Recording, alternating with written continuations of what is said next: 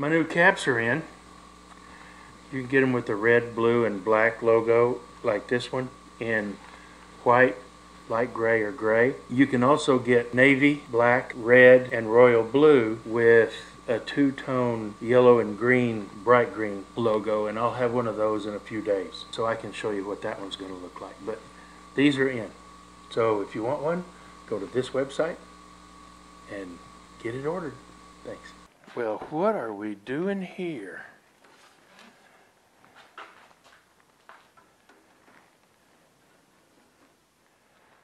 Got me some live oak acorn caps. I'm gonna put them in the toaster oven for a couple hours at 200 degrees and make sure they're dry.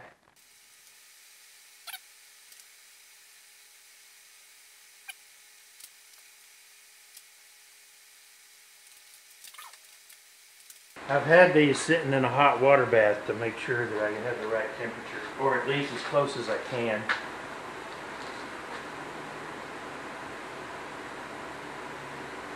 The directions for this stuff say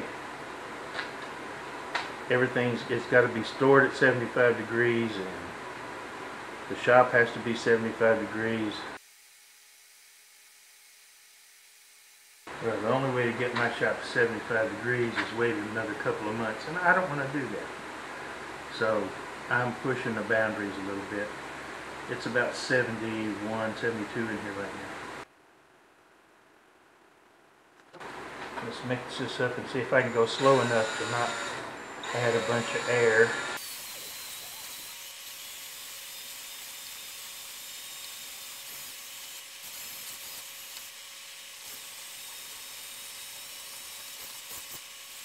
I still got to mix them a little bit more because I'm going to put coloring in here. I don't want to use a whole lot of color. Okay, this is Jacquard Lumiere Pearlescent Emerald. Oops. That was a little more than I wanted, I think. And I'm going to use just a little bit of this apple green mica, just a touch. The reason I'm only using a little bit of this stuff is because I want this to be relatively translucent.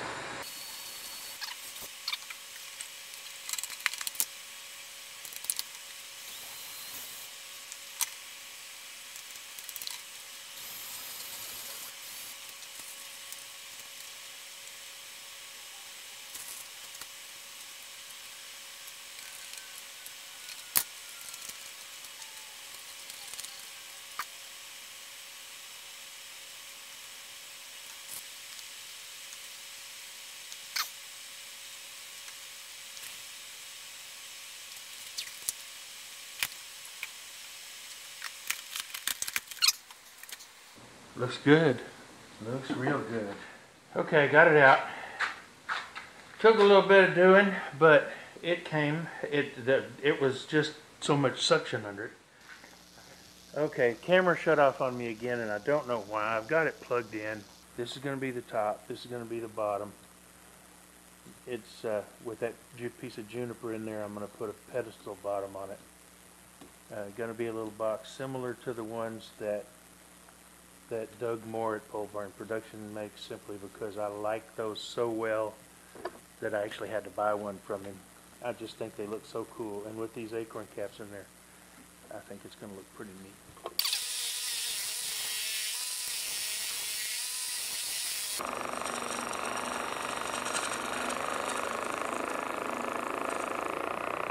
There you could hear the chatter. That means I was getting a little bit of chip out in the resin.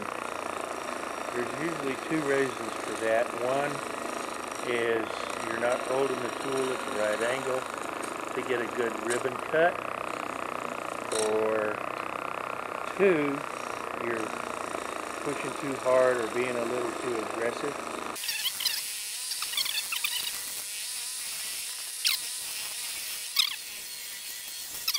It's all nice and round.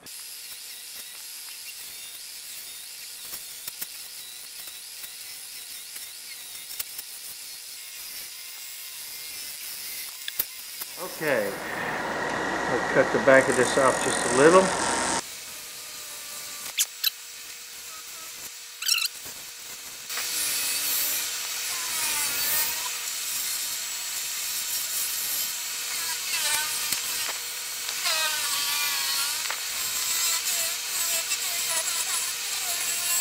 I'm almost happy with where I'm at. I think I need to take this down just a little bit more.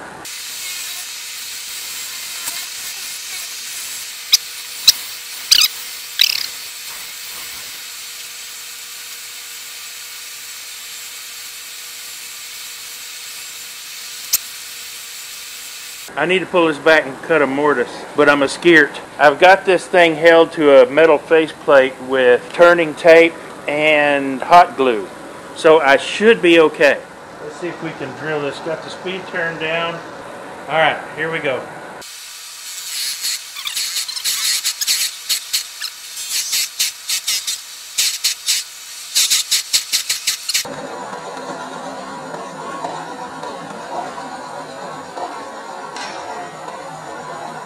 And the tape came off. I'll do it the old fashioned way.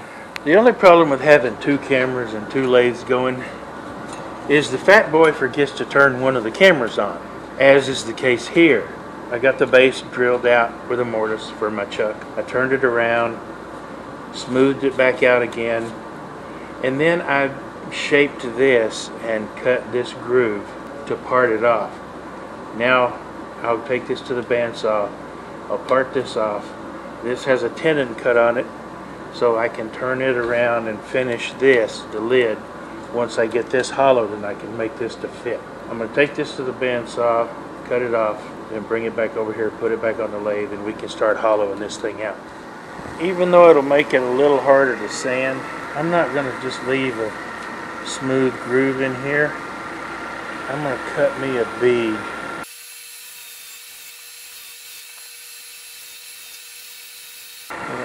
it up with the beading and parting tool. Most people just consider this a parting tool. It's a beading and parting tool.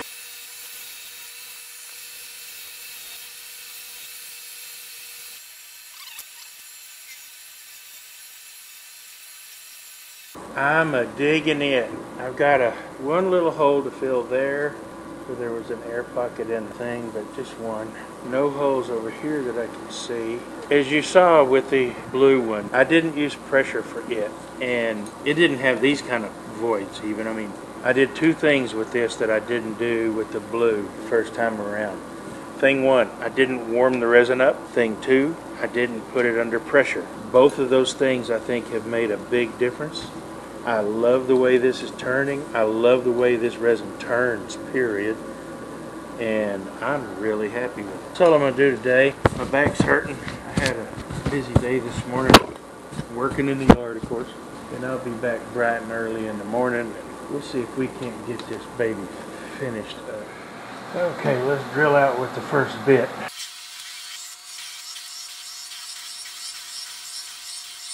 Okay, I'm going to cut my my lip.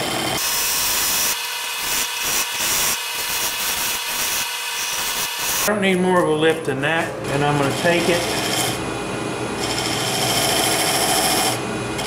about that thin. Because I'm lazy, actually that has nothing to do with it. What does have to do with is I bought this rig to use it, and it saves wear and tear on my body, more importantly wear and tear on my nerves because hollowing can be a bit daunting. Let's hollow this piece out.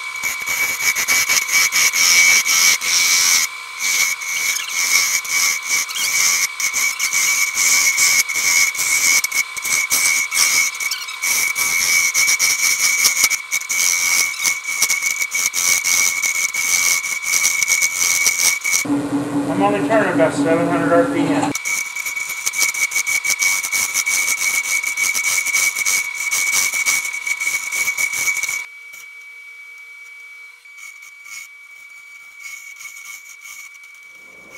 It's got a couple of air bubbles in it. There's one inside that shell right there, or that cap right there. There's a little bitty tiny one at the crown of that cap. There's one in that cap but that one will fill. I'll get the CA and fill these cracks, I mean these air bubbles, and when that's all ready, I'll come back. That'll do. Clean this up out here real quick, and we can sand this baby.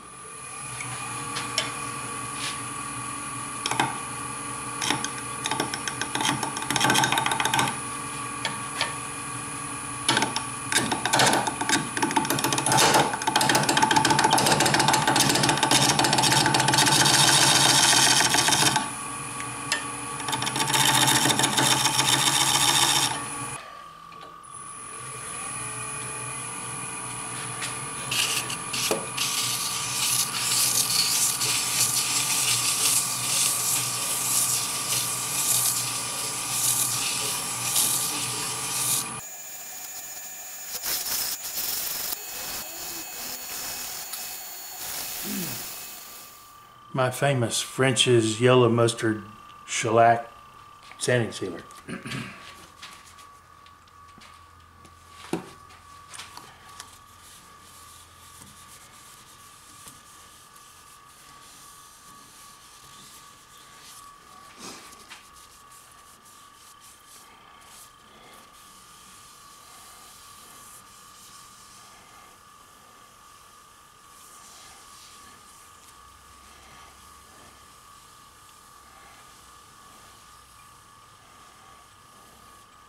Now we wait for that to dry.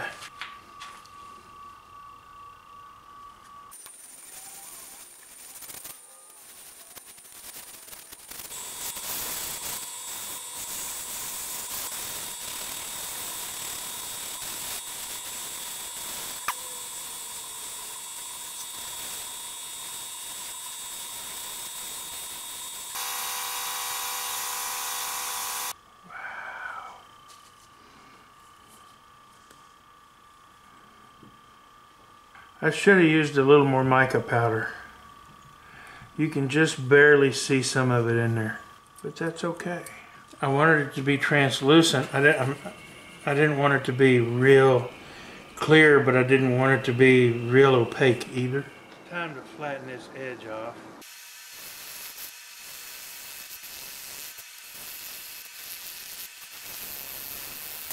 Okay, that's about where I want it. I will finish shaping the bottom after I get it turned around and actually finish the bottom.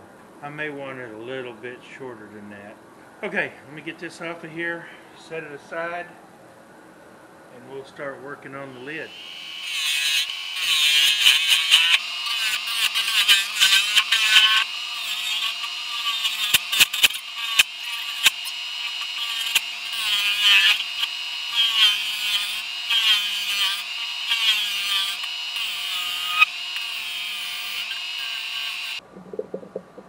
It's not a snap fit, but it fits.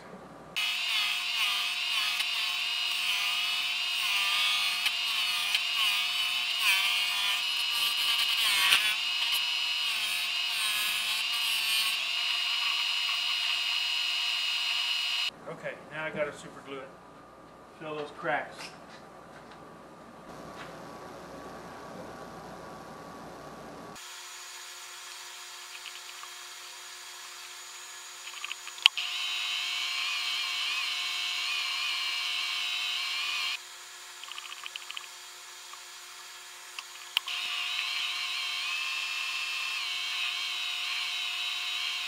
That's pretty.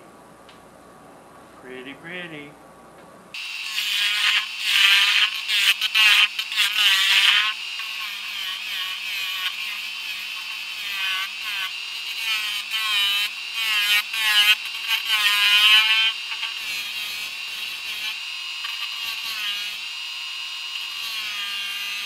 I'm not going to get rid of all of that, but I got rid of most of it.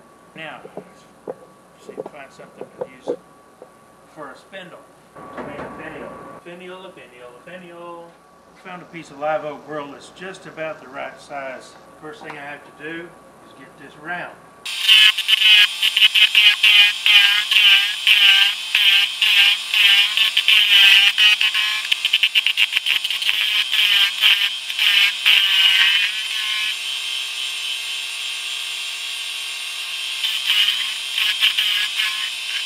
It's close. Close enough to work with.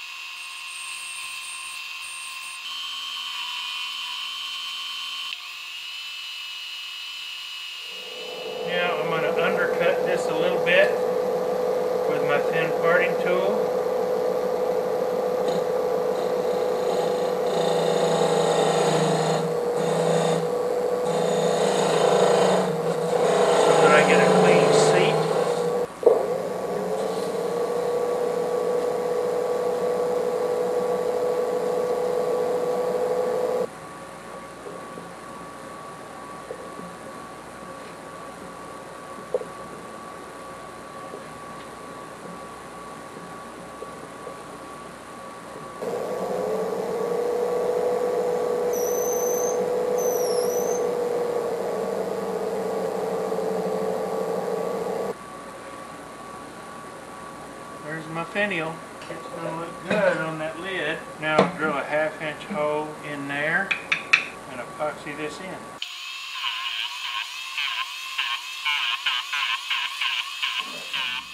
Okay, let's smooth this up.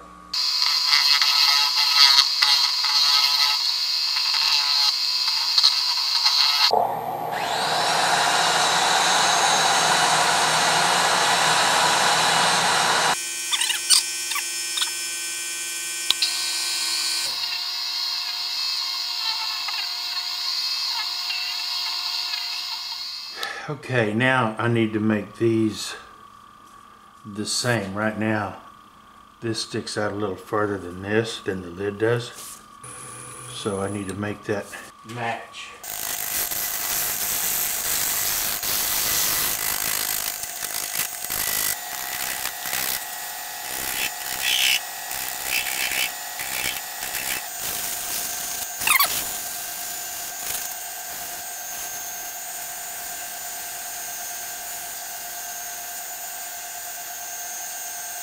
That looks like it's a lot better. I wasn't thinking when I shot the finish on the outside of this thing that I was going to have to do that. I knew I was going to have to do it, but sometimes you just don't think. At least sometimes I just don't think. Now I need to do something just a little bit scary. If I had a brain, I'd take it out and play with it.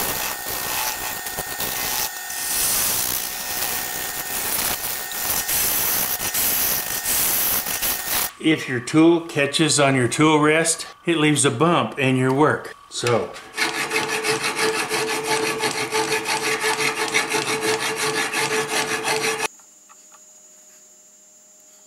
I smoked that one in like pole barn.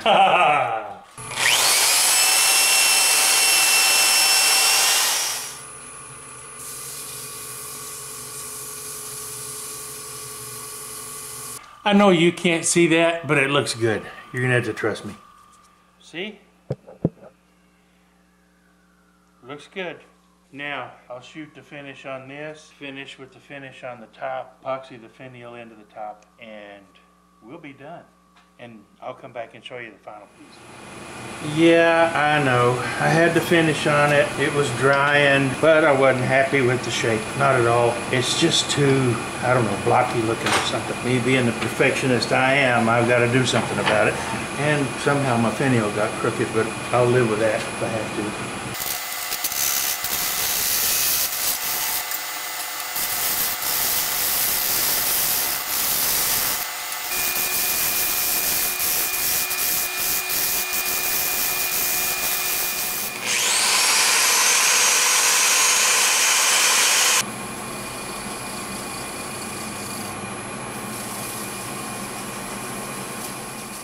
So here it is, all finished, nice and pretty and shiny.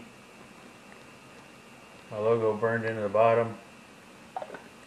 I'm really, really happy with it. And I'm really happy with this resin uh, now that I've figured out how I can use it for casting. And I'm really happy with it for two reasons.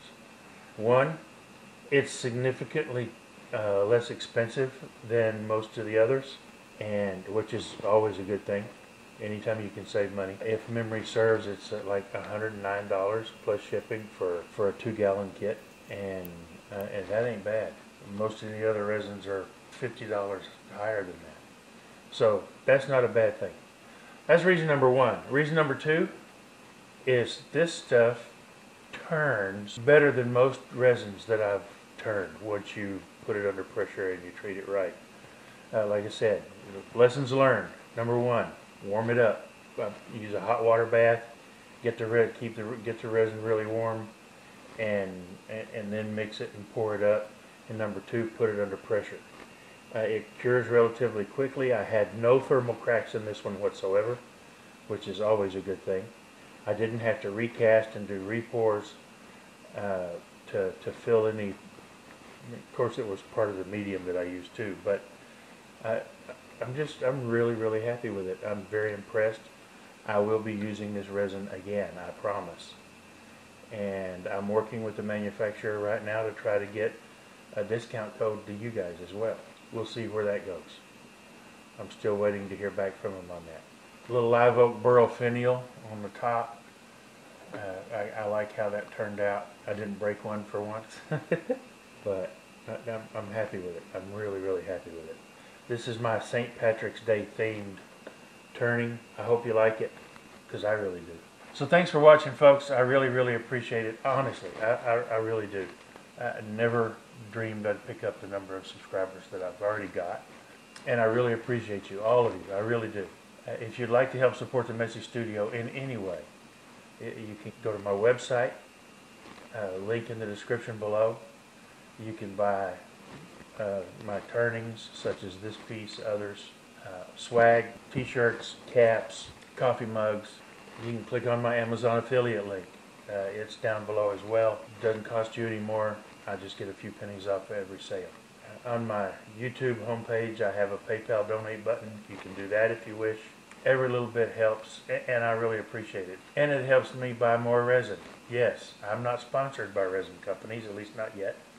And all the resin that I've used, except for this uh, one gallon that ProMarine sent me, I've paid for. So in order for me to do more resin projects, I need to buy more resin. And don't forget, you can go to the Axe Wood Paste website and enter the code Billy10 to get your 10% discount. Uh, Tom and Ann will get that right out to you. So thanks again, everybody. I appreciate you watching. I really do. Uh, and I appreciate you bearing with this old rambling fool. It's just, I spent too many years in the classroom and I can't shut up. Thanks again, really. Y'all come back.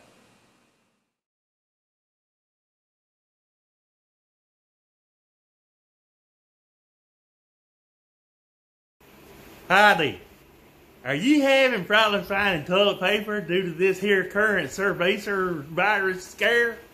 Well, have I got a deal for you. I got me this big old tow sack full of vintage toilet paper. Right here. And you can have some for a nominal fee. That's right. All you gotta do is just text I want it to ID 10T5. Thank you. Have a great day.